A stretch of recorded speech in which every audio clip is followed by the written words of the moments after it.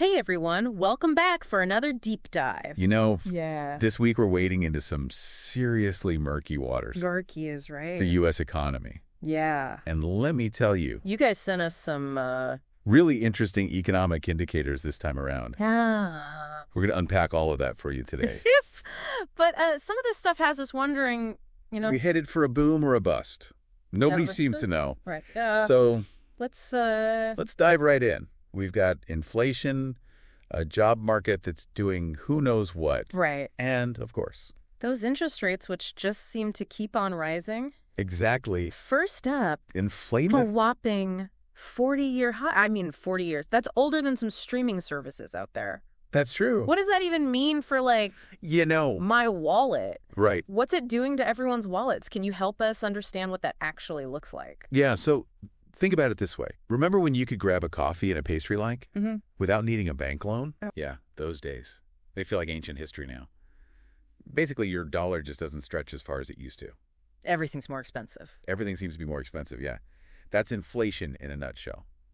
That gallon of milk, that tank of gas, it's all creeping up there. And you know, it's one thing when it's just like minor inconveniences, but What we're hearing from a lot of the sources this week is that it's really starting to put the squeeze on. families, businesses, you Well, know, yeah. people who are really just trying to make ends meet. Yeah, and it's tough. It, imagine you're trying to plan a weekly budget for your family, and the price of, I don't know, bread Yeah. changes every other day. You know, Right. or think about small businesses; they're getting hit from every angle. Yeah. Their costs are skyrocketing, but they can't just double the price of everything without scaring customers away. Absolutely. It's a really, really tricky situation to navigate. So then in steps. You know, the government, the Federal Reserve, they're Uh-uh. raising interest rates, right? right. It's like they're playing this economic whack-a-mole. Uh, do those rate hikes actually work? Wow. Or is it just, you know, are we just delaying the inevitable? Well, it's not exactly a game, though it can feel that way sometimes. Yeah. The Fed's trying to slow inflation without sending the economy into a free fall. Right. Higher interest rates make it more expensive to borrow money, so the theory is that people will spend less. And eventually prices will stabilize. Right. But it's not a precise science. This has ripple effects on everything Mm-hmm. mortgages, investments, everything. It's definitely not a light switch you can just flick on and off. And while we're talking about go. balancing acts, Let's talk about the job market for a second. okay, Because on the one hand, we're hearing record low unemployment, right, which on paper sounds amazing, yeah, but at the same time, there's these whispers of a potential recession. right, So which is it? Are we celebrating or bracing for impact? What are we doing? that's a great question. It's important to remember that numbers don't always tell the whole story. You've got to look beyond the headlines. Yeah, more people are working, which is fantastic on the surface, but what kind of jobs are they? Right. Are these well-paying jobs that can support a family, offer benefits, or are people stuck piecing together multiple part-time gigs just to make ends meet? Right. That's the nuance that's often missing from these big unemployment numbers. And speaking of You know, um, things that are a little bit concerning. this R word, recession, it's Yeah. like everyone's buzzing about it. Right. But I think it's important for us to take a step back. For a second, and kind of define our terms here. Yeah. What exactly is a recession? Okay, so imagine the economy catches a cold, right?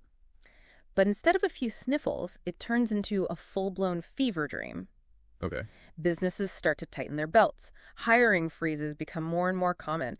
And unfortunately, layoffs start to happen. That new car, that dream vacation you were saving up for, suddenly they feel miles out of reach. That's a recession. It's a period of economic slowdown that really does impact everyone, directly or indirectly. We're trying to, ch- you know, combat We're inflation. raising these interest rates. But it seems like these interest rates could actually end up hurting the job market, Yeah. which would kind of defeat the purpose, right? It's Yeah. like a total catch 22. It is a bit of a catch-22. Higher interest rates can make businesses hesitant to hire. If borrowing money is more expensive, why would they want to expand? Right. And that can lead to slower job growth or even job losses, which of course creates a whole new set of problems. it's also interconnected, right? Yeah. It's like, Inflation, Yeah. the job market, these interest rates, they're all doing this kind of, intricate economic ballet. that's a good way to put it. And it feels like nobody has any idea what the next move is going to be. Yeah, it's hard to predict the future. So for our listeners out there, Who are just trying to make sense of all of this, Yeah. what would you say is the most important thing for them to keep in mind? I think the most important thing is to stay informed. Don't bury your head in the sand, but don't panic either. Read articles, ask questions, stay curious. Knowledge is power, and the economy is always changing. That's great advice. Knowledge is power, absolutely. And on that note, I'm going to leave everyone with a little bit of a thought to ponder. if this is if the economy is this intricate dance, what role do we play as individuals? I mean, are we just along for the ride or can we actually influence the choreography? Just something to think about. Very interesting question. Until next time, keep diving deep, everyone.